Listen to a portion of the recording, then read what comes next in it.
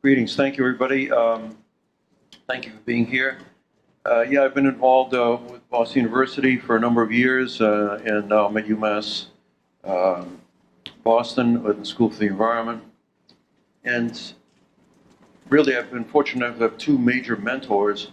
One uh, is Alexander Humboldt, who I never got to meet because it was 200 years ago.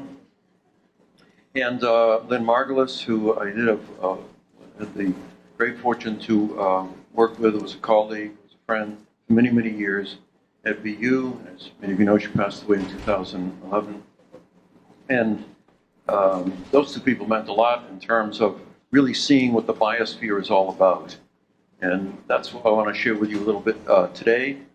And uh, here we have a core characteristic of the biosphere's long life history, communities and symbiosis. Biosphere here meaning the environment in the broadest and most scientific sense, uh, where all the organisms are residing, where life is residing, and the dependencies that life has on those areas of the planet. And all of the pictures that we see here are just samples of thousands of symbiotic organisms. Symbiosis, again, being uh, what we would call partnerships in nature, intimate ones over long periods of time. And uh, we, they come in all kinds of varieties and shades, and some of you might recognize them here. Uh, even the orchid, the third one from the left, is a symbiotic organism in that it's completely dependent upon fungi, right? Fungi in the roots or in the bark system that allows the orchid to actually proliferate. And it has to actually capture that fungi or at least partner with it uh, right from its very earliest stages. And uh, this is an unusual one on the right. This, this uh, is a view from uh, the Amazon. I've led or visited uh, uh, the Amazon, led several trips there over the years. this would be the remote Amazon portions northwest, eastern Ecuador, but northwest Amazon generally. This is the Hoatzin on the right. Oh yeah, I have one of these. Look at that. Uh, the Hoatzin, this is a fabulous bird that is a, sort of a flying cow. It uh, absolutely is a fermenter. It has a major microbial population. And if you look around out here, you won't see any birds eating leaves. And this bird does. It eats leaves. Okay? And therefore, it needs uh, cellul- cellulitic action, that is, celluloses, cellulases to break down the leaf action and have it actually um, be able to digest it. And uh, so that's a, a, very unusual, and there are many, many other examples of, of symbiotic systems. But again, it's microbial based. It's amazing, isn't it, that the most influential organisms on the earth are the ones that we cannot see. This room is filled with billions and billions of organisms, many, many Sagan units of organisms. And uh, uh, both on us, in us, and around us, right? We know that. And so we are really satellites. We're really satellites. We're seeing the overall view. We don't really, don't really see the action until we get into the microbial world. And so that's what I'm uh, sharing with you today. Uh, and we like to start right at the beginning. Uh, and it's hard in uh, half an hour or so to review 3.6 billion years. So this is my challenge. Uh, and here, this is a picture that uh, would be a representation of at least seven eighths of Earth time, and that is these. Uh, this is really an ongoing picture, but one that really would date back three three billion years ago or more. And these are stromatolites. These structures down here, stromatolites. Uh, these rounded structures, volcanoes. Uh, then you have archaea, which are we see them as some type of bacteria, but in some ways they're more connected actually to eukaryotes, those that have nucleus and, and mitochondria and, and bags of material uh, confined in, within a cell. Uh, in some ways, archaea are a little bit closer to that, but they are microscopic and they live along these hot sulfur areas, volcanic areas, and of course, shallow seas here, clouds of mm, various gases different from today, etc. But here you go volcano, shallow seas, archaea, bacteria, our most Mm, our closest friend, the other half of us, which uh, Betsey Dyer will uh, uh, wonderfully talk about later, uh, microalgae, and of course stromatolites, these bumps, these rocky bumps. Most of Earth's 3.6 billion year history, we might say this is pretty primitive. What is this? this is, what does this really do anything? This, as Lynn would have said, this is a successful story right here. Okay, that's a successful story. In that period of time, so many things that we depend upon were invented. Photosynthesis, for example, there were photosynthetic bacteria, and cyanobacteria are among that group. I always ask my students and others, anybody here photosynthesize?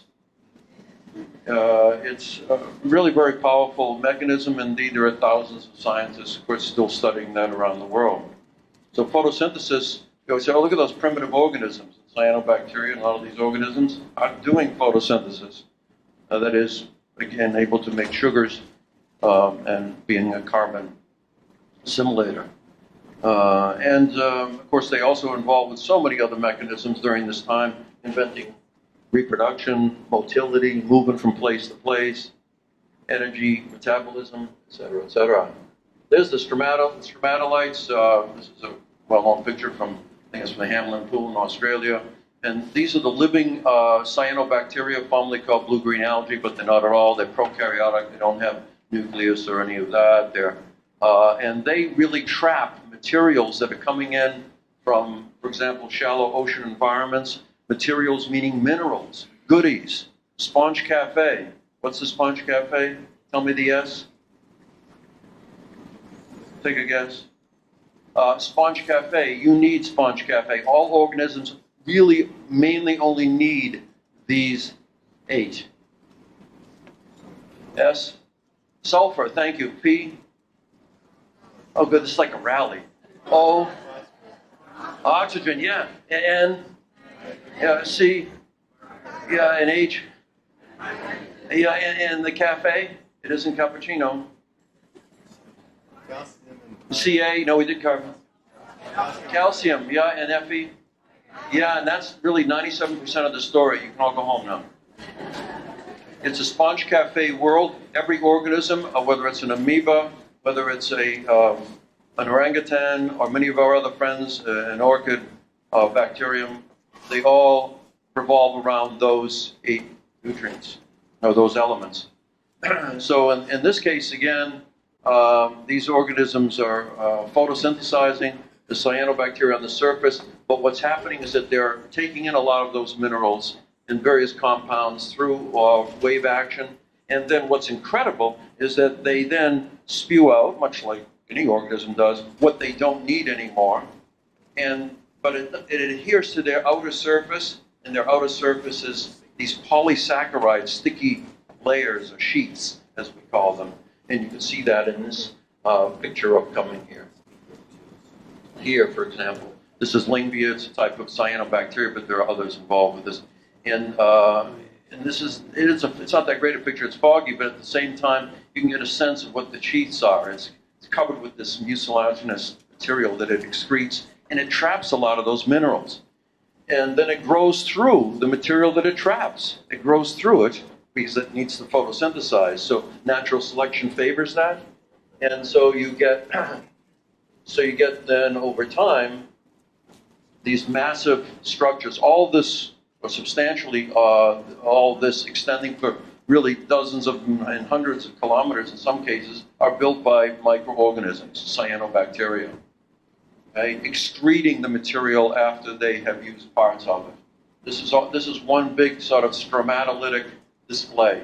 And this is a man, or a meon, as they say in Boston. And uh, so you get an idea of the height and so on.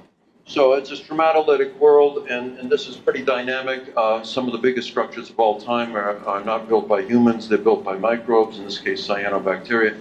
And what does that connect to? What does that tell you? Cyanobacteria in great numbers doing this at 3 billion years ago and all the way up to 2 billion years ago. Uh, not so much today, but still around. What does that tell you about the atmosphere? What came out of that cyan- all those cyanobacteria? Oxygen, yeah, that's the reason why we're here today. We can take a deep breath. Thank you, cyanos, and our other microbial algal friends. All, all algal friends plus the cyanos, not algae per se. But that oxygen is given off as a waste product. It's used, but then given off as a waste product. It's cycled back out into the atmosphere, and that was, of course, a danger. But most organisms, or many of them, not most, but many have adapted to it, and here we are. So we can also thank cyanobacteria for that. In terms of a biosphere contribution, they definitely have helped to build a oxygenated world. This is a picture uh, from one of the articles that I did, uh, really based a lot on just symbiosis knowledge. Uh, now we know uh, that there are two types of levels of symbiosis. One organism is taking in another organism, and instead of digesting it, instead of um, yeah, digesting it, it really tolerates it and it remains within the organism or in some way associated with it. This doesn't happen very often, but enough to change the world periodically. And uh, in this case, we have a host organism here taking in another organism. This happened with the mitochondria, uh, which are represented by those red dots. They were once free living bacteria, as many of you know. But at, afterwards, after they got their mitochondria and developed a nucleocytoplasm, they took in this, which is a cyanobacterium, and then that developed into a plastid, plastid, that was like a chloroplast, and then they became photosynthetic here. This is this is you couldn't get much more core than this in terms of it, answering the question of uh, is there some important way that microorganisms have have really fostered life on Earth? Yikes! Mitochondria and plastids, chloroplasts, are directly from microbes. They were once free living microbes. We know that. That's part of the endosymbiotic theory, or now just part of basic uh, biology knowledge, biosphere knowledge. But incredibly, for the groups of algae that we depend upon so much, and other organisms, but particularly algae, this organism here was then taken in by another eukaryote, heterotrophic. That is, it doesn't make its own food, and it swallows it up, and that became a lot of lineage, lineages of other algae. We call that secondary symbiosis, or secondary endosymbiosis. Primary, and in much of the many other examples of secondary. That's pretty powerful. This is like gathering up all your whole group of genes all at once, not through a series of mutational events or but rather capturing novelty and new new ways of being in one gulp. And then it's filtered out over time, of course, or eliminated completely. So this is a big story. Um, oh, it's kind of funny that's supposed to happen. Huh? Oh yeah, look at all those funny things. Okay, so here's um, here's a picture that shows this a little bit. Uh, this is Symbiodinium, which is a secondary derived alga. Okay, and uh, it's added to this. What's that? What is it? Yeah, it looks like a hydra. Yeah, it's actually a polyp of a, of a coral.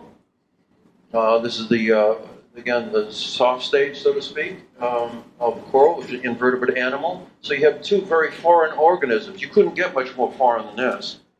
Okay, this is like, uh, you know, hippo and an orchid, or whatever way you want. Crazy idea you want to bring it up. These organisms are, we wouldn't think would be fitting, but they do. And together, when they're together, uh, they actually develop this, a coral reef. There is no coral reef of substance on Earth over the millions of years that hasn't been affected by that first organism or something very similar to it, which is a dinoflagellate.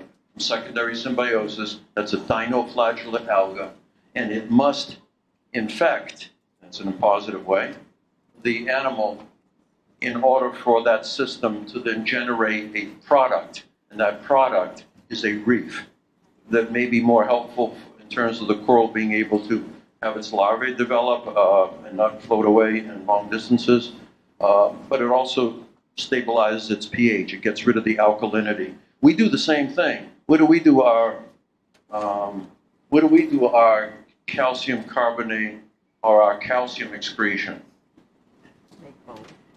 And don't say when you go to the bathroom, yeah, that's one excretion. But what's another excretion? What is it? Bones. You excrete it internally, okay, as well as uh, many other organisms. This excretion goes externally, making an exoskeleton which supports much of the biodiversity of the planet. So, in a symbiotic world, 1 plus 1 equals 1. It does not equal 2. And you're a living example of that. You're only, you're only half here when you're born. You know that, right? I, I don't mean that like putting humans down, like, you know, something wrong with you. I mean, you're, you're only half here, the other half, is really, of course, the microbial populations that you need to have. So here, each individual is actually a community comparable to the larger ecosystems we depend upon globally. That's a powerful point, because then the whole story of us being so distant from all the ecosystems in the world, that we're humans, and we're in a different world, and we need to take care of this, well, we're also an ecosystem. So we have real connections, uh, real symbiosis, if you will, with those larger communities of wetlands, rainforests, and so on. here's some examples. Uh, so here we're looking at this. Uh, so we're looking at a symbiotic system, and then we're, we're saying what impact, a cone effect. These symbiotic systems go like this. They start here and they go off in a big cone, right? Like, whoops, like uh, this. And here we see it. Uh, the left picture is influencing the biosphere on a grand level over time. In some cases, over uh, tens and hundreds of millions of years. That organism on the left is, is hard to tell what it could be, but any guesses? You got a clue when I when I hit the button too hard uh, second time. Yeah, I like it. Thank you. Yeah, I like your comment. Uh, there it is. Yeah, there's actually a couple of species here. That's uh, Cladina farina, which is a reindeer lichen on the left, and this is Cladonia, which is a called the British soldier.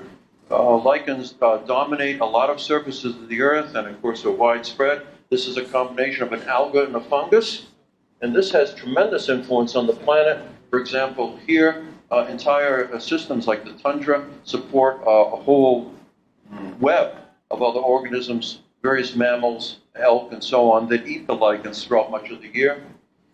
Uh, they also uh, break down the bark on rainforest surfaces and really allow for epiphytes to develop. And epiphytes are characteristic of rainforests, right? Plants that live on other plants. And we see that here. Plants don't grab hold and get going on a surface unless the surface is broken down somewhat. Lichens, as well as bacteria, play a big role in that. And again, a, lichen is a fungal algal combination. So symbionts act as element recyclers and, and ecosystem builders in the biosphere. Again, a powerful influence, and just one of many examples, of course. Um, oh yeah, we're looking uh, right into uh, what is that?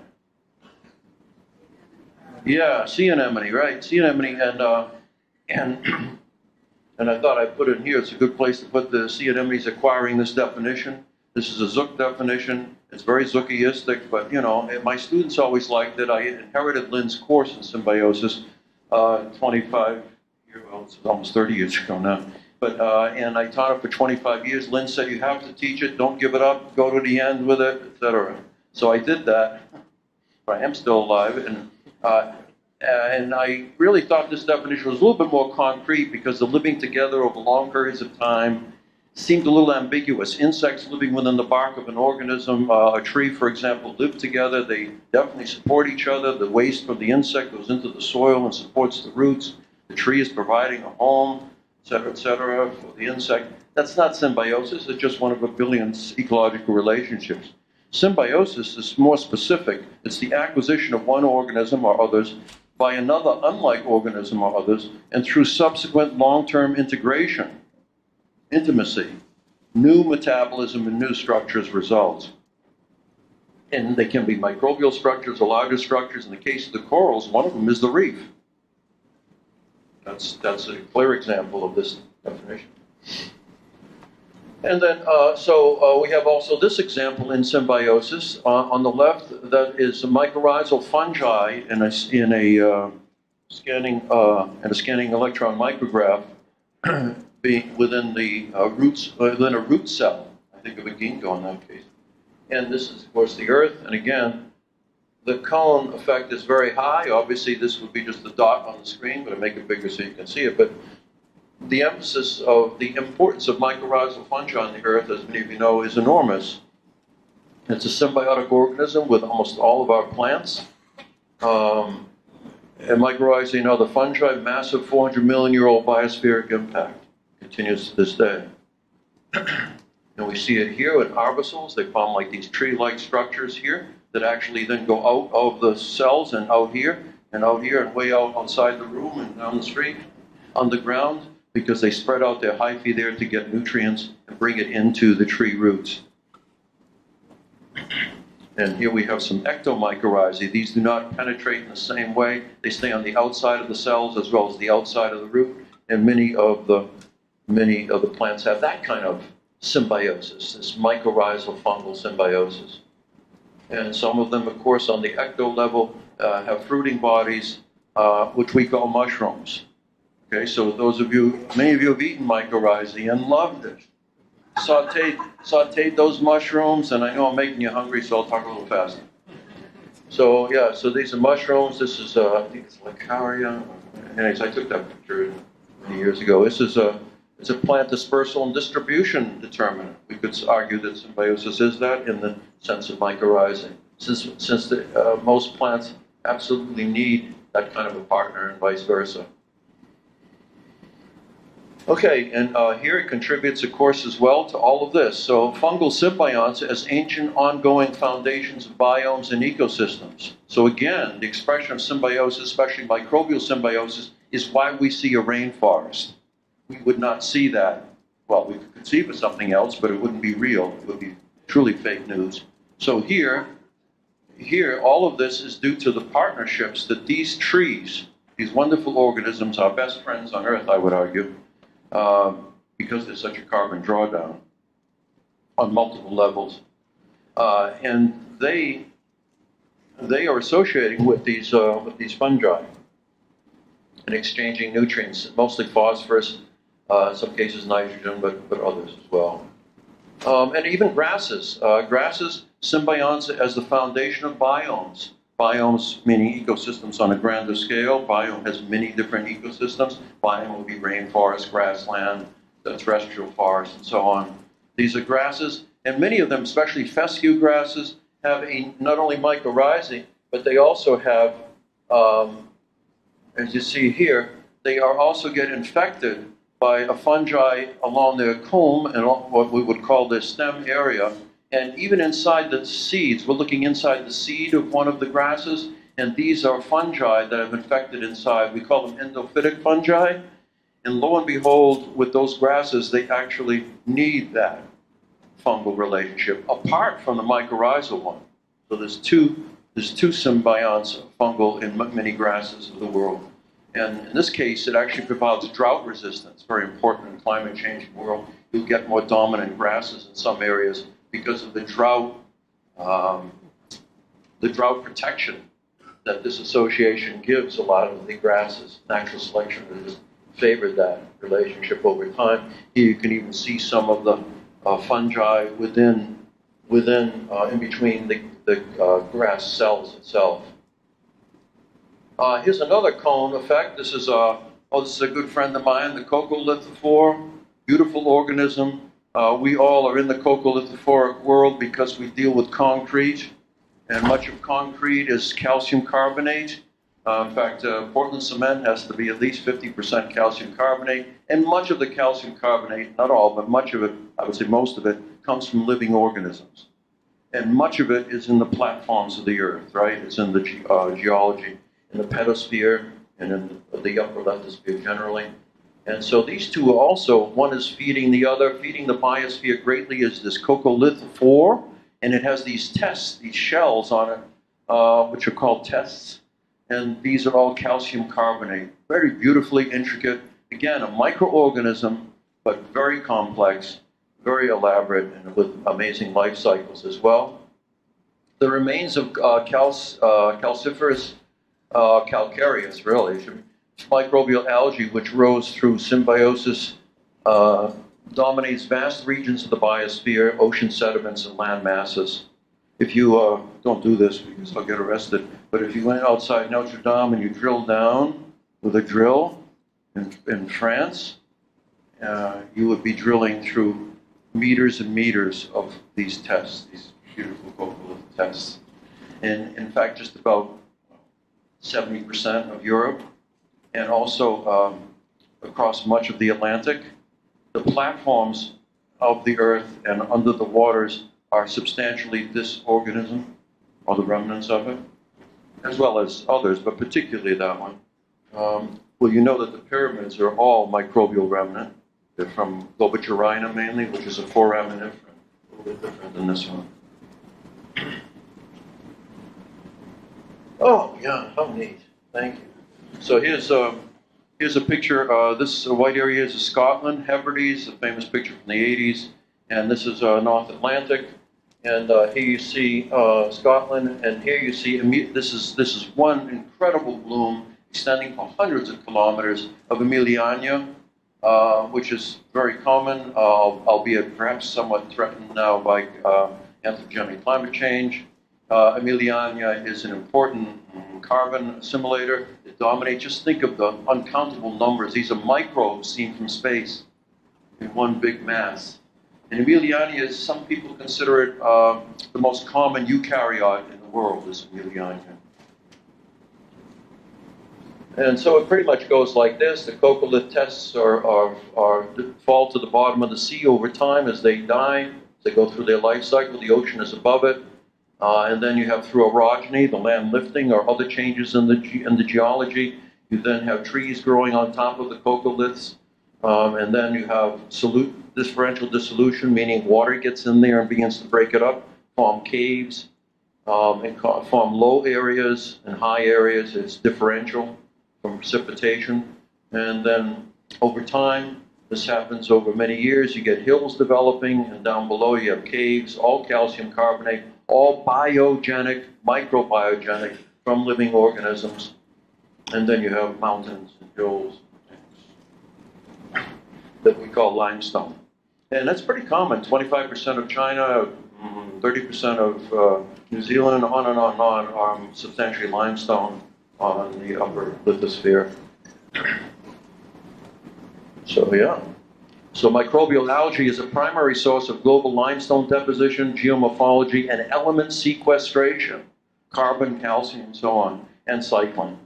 This is not trivial. This is big time biosphere stuff. Um, and so again, the influence of symbiosis on just one ecosystem here, the plastids and the leaves we said are from a primary symbiosis. Uh, lichens hanging off branches like you see over here, these are lichens. Um, and then on the bark itself, they're also from a symbiotic microbial uh, system, mycorrhizae and salts and detritus. Wow, I mean, in soils rather than detritus, I mean, this is this is a common rainforest picture, but yet it's really a microbial influence, and of course, then projects all the way to the biosphere systems. Wow, look at that. Uh, this is a, a, great symbiosis. Again, this is just looking at, uh, again, anemone uh, tentacles, and this is the green algae that's making this color. They are infected, they're within cells, this is a close symbiotic relationship. So this animal can actually photosynthesize because carbon is transferred uh, from this green alga to the so-called host cells here. So symbiosis is really a dominant uh, in, a, in marine life strategies, very common. You see the corals here across the board. We see it here with corals, speaking of them. Symbiosis as biodiversity determinants. Yeah, because if you have a reef, you know you're going to have a very biodiverse world. So, an oases in the seas, right? Tropical seas don't have much life. They don't have much nutrients coming up, okay, because there's no cold water sinking. So it tends to be kind of vacuous in terms of a lot of biodiversity, except in these oases, these coral reef areas. And of course, we're losing the reefs. It's one of the major stories of today, right? One of the major dangers today. We're losing the reefs mainly because of what you see here. We said here global warming indicators. Wow, these are dead. This is alive, but certainly fading. Okay, and there are thousands of pictures of this. We, we know this is happening. Uh, this is uh, very problematic. Some people say, well, the Earth will go on and all of that, but uh, microbes, of course, will go on. That may be so. But with, when humans are the cause, or at least part of the cause, even if we say, well, we're stuck with that, but remember, we have to work at it if for no other reason that we're bringing down many other organisms and ecosystems that had nothing to do with the problem. I get that all the time from students as they, well, you know, yeah, so humans go, goodbye humans, and they screwed it up. It's, yeah, okay, but it's not that easy. It's we're taking so many other systems that that we really wouldn't want to have gone from the earth that they didn't contribute to the problem in any significant way.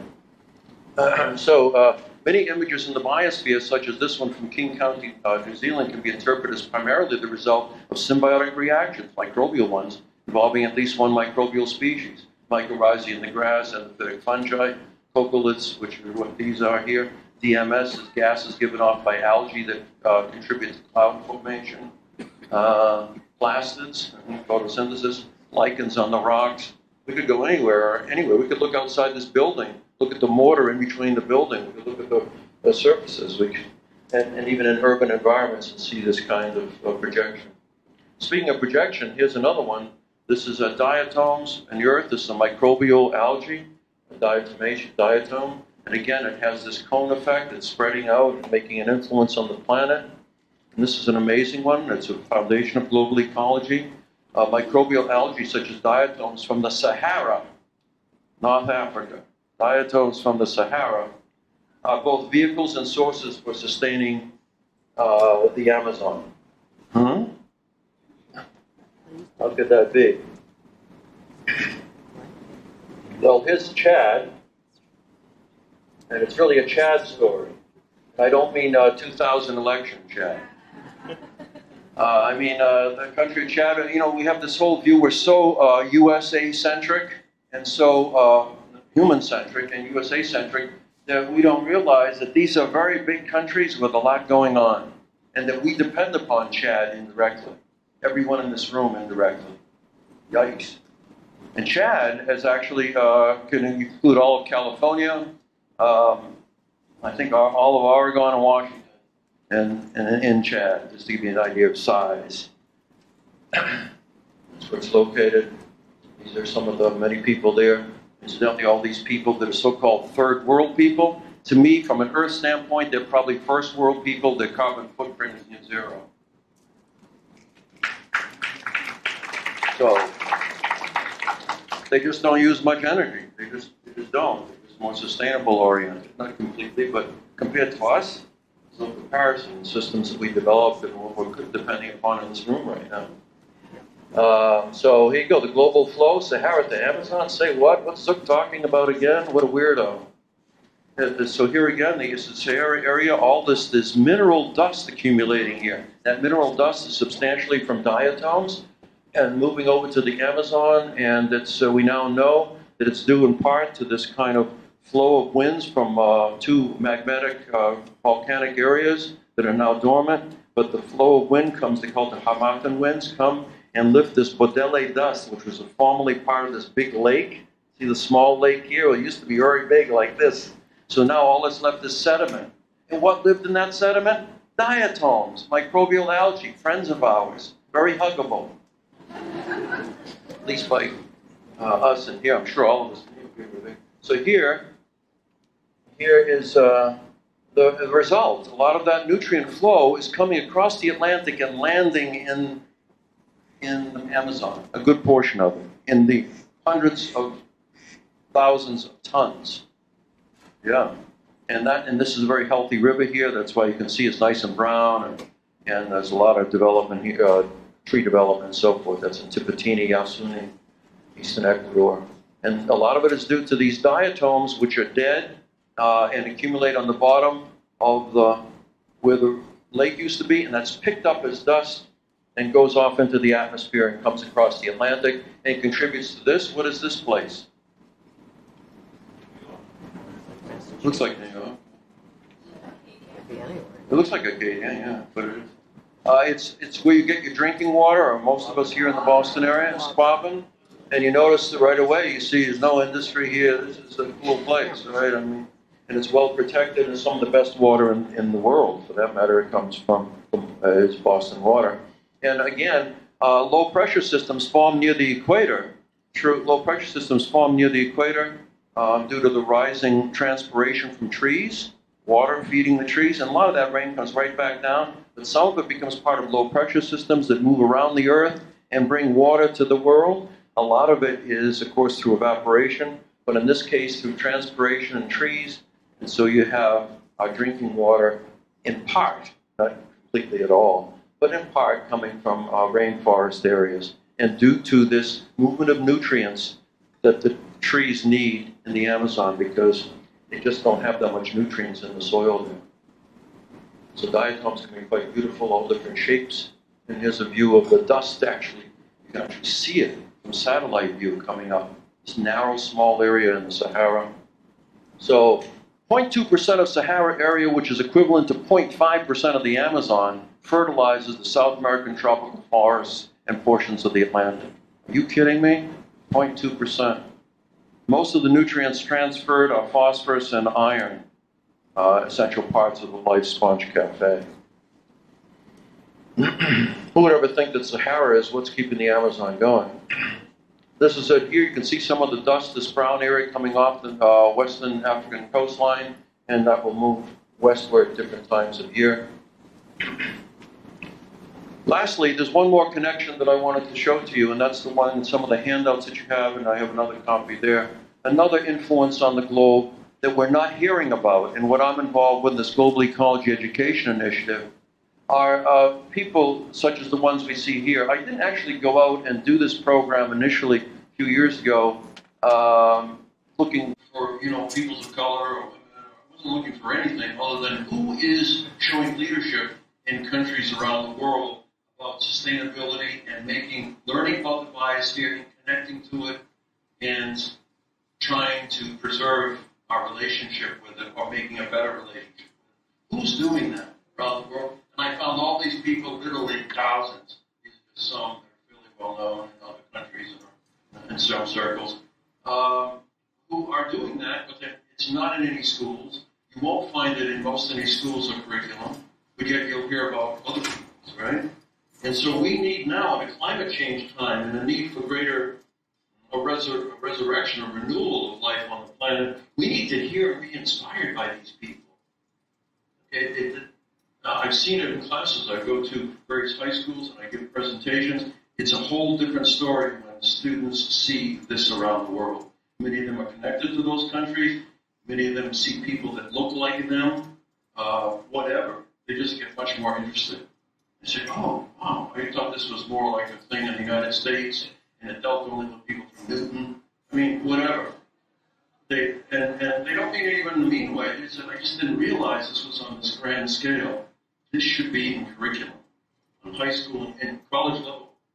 Um, and especially someone like uh, Wangari Maathai. She's. She won the Nobel Prize in 2005 uh, for her Green Belt movement planting over 50 million trees, organizing 10,000 women in Kenya. That should be known by people. It should be part of curriculum. And so they have a powerful effect. And in that sense, I'm asking also uh, my own plug here for the global ecology. It would be important to get out to schools more with, and, demonstrate this and do the programs that I do. And also, we want to develop a website that has is curriculum friendly it's interactive and can be used in schools by students and by teachers, and that requires some support. Unfortunately, a lot of the foundation support is very STEM oriented. Are you teaching how to do lab skills so that they can get jobs in corporate environment? I'm glad other people are doing that. We're not doing that. We're trying to build knowledge and inspiration for people to get more involved in climate change and other environmental biosphere issues. And this is a great vehicle to do it.